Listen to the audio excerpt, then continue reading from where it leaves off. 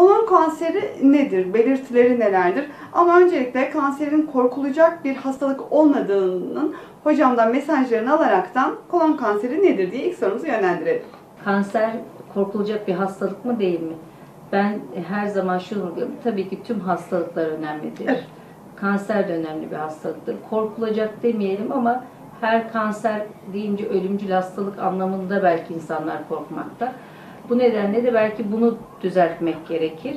E, Şeker hastalığı da önemlidir, tansiyonda, işte kolesterolde hepsinde ayrı ayrı kendince önemli yönleri vardır. Kanser de tabii ki önemli bir hastalıktır. Hepsi ölümcül asla değildir. Erken teşhis ile birçok hastalık artık kanser hastalığı e, yenilebilmektedir yani tam şifa bulabilmektedir. Bu açılardan baktığımızda kanser korkulacak bir hastalık değildir ama geciktirmemeye çalışmak. Şimdi geç evrelerde bile birçok hastalıkta tedavi seçenekleri oldukça fazla. Ama e, önemsemek ve erken teşhis e, konulması ile ilgili gerekli birincil koruma yöntemleri, ikincil tarama yöntemleri gibi e, yöntemlerle daha e, hızlı tanı konmasını sağlamak gerekir. İkinci sorumuza gelirsek kolon kanseri nedir? Kolon nedir öncelikle?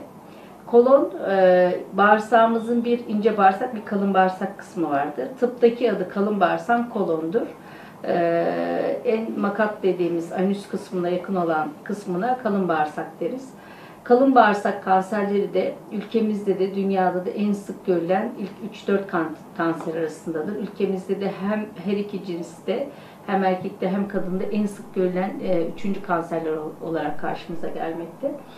E, kolon kanseri kalın bağırsağın normal epitelinin, normal dokusunun e, zaman içerisinde anormalleşerek otonomi kazanması, bağımsız bir şekilde doku uyumuyla uyumsuz hale gelmesi ile oluşan tümörlere denir.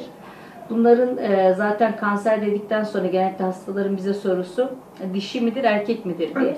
E, Kanser tanısı koyduysak zaten bunlar dişi tipidir. Hangi kanser olursa olsun. Kolon kanseri de bu şekilde e, bağırsak hücreleri tarafından bağırsak hücrelerin artık normal vücut kontrolünden çıkarak anormalleşip büyümesi sonucu oluşan e, kanserlerdir. Bunlar e, zaman içerisinde önce e, bağırsak duvarında ilerleyerek bağırsak çevresine çıkmayı severler. Öncelikle çok sıklıkla polip olarak bağırsak lumenine doğru yani bağırsak içerisine büyür, anormalleşir, kanserleşir. Ondan sonra da tekrar bağırsak duvarına çıkıp çevre dokularla ilişki kazanabilir. Ondan sonra da yine e, en yakın lenf bezlerine gitmeyi sıklıkla severler. Diğer taraftan da hematojen yayılımla gerek lenf nodları gerekse hem, m, kan yolu ile karaciğer, akciğer, kemik gibi diğer organlarda da e, yer alırlar. Bu arada da evre atlamış olurlar. Evet.